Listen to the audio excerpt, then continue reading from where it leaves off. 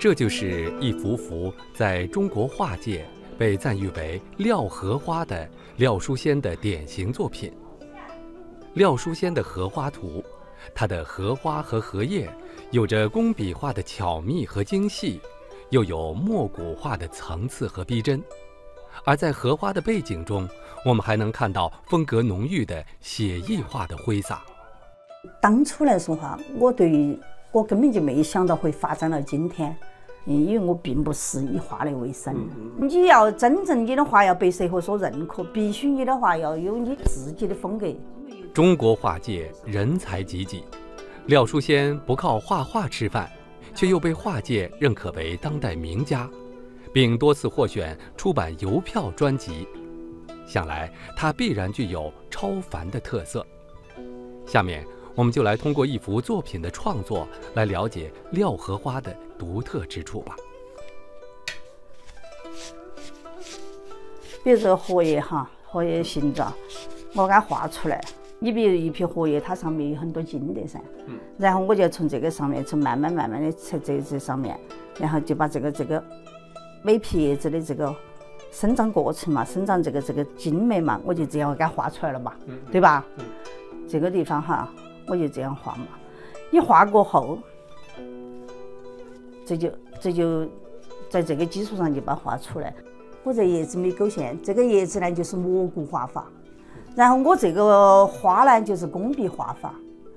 然后，比如说我这个山水呢，最我这个画完过后哈，最后这个哈，比如我这样画两条鱼，然后我这个这个画呢，我背景呢，我还要画一点水，然后画点水呢，就用写意的方法哈画出来画出来。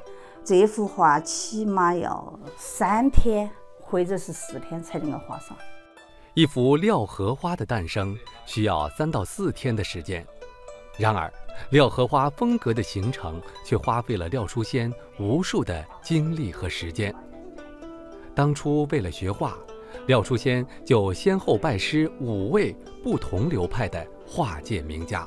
有两个老师呢，就是画山水的；还有一个老师呢是画工笔的；还有一个老师呢是画写意花鸟的。拜了这五个老师过后了，就把他们五个老师的这种所长。就发挥到我自己的这个画当中。除了名师指点、博采众长之外，醉心于绘画艺术、勤奋创作，也是廖淑仙成功的重要因素。当年在四川省政府工作的他，工作之外的时间全部都用在了绘画上。每天脑壳子、头脑里面都在想，我咋个构图，咋个画它，咋个等于是把这幅画画得与其他人不同，我咋个创新它？我脑壳子整天都是这样 想的，我从来都不觉得累。画画是乐在其中的，然后通过你自己的画笔，然后你把大自然的一种一部大自然的有种你认为非常美的，然后你非常热爱的这个画出来过后了，嘎，你比如说你把装裱了看在这个地方，然后每天你。你一看，绝对是通过你自己的笔画出来的，通过你自己的心血画成，你就觉得非常有一种非常愉悦的一种感觉。廖淑仙之所以能够开创廖荷花的画法，也是因为他热爱荷花，热爱荷花淡泊名利、出污泥而不染的品格。廖淑仙说：“移民加拿大，使他更能够沉下心来进行艺术创作。”既然我就移民到加拿大来了，然后现在过后呢，这边的时间就更充裕一些，那更让你的心更静得下来一些。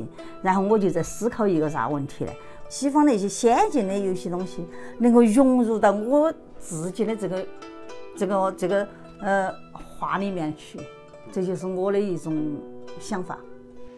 去年，廖淑仙已经在加拿大举办了一次个人画展，受到了本地艺术爱好者的热烈欢迎。现在，他又在每天绘画六到七个小时，准备将更好的作品奉献给观众。我今年这是叫做是废寝忘食，画好过后我就想明年，明年可可能九月份啊，八月八九月份期间嘛，我也想再办个个人画展。廖淑仙是勇于创新的艺术家，他现在又开始尝试新的画风。我们希望廖淑仙能够在今后的创作中，不仅保持廖荷花的风格，还能创造出廖山水、廖人像等独特的画作，更加丰富家中两国的艺术画廊。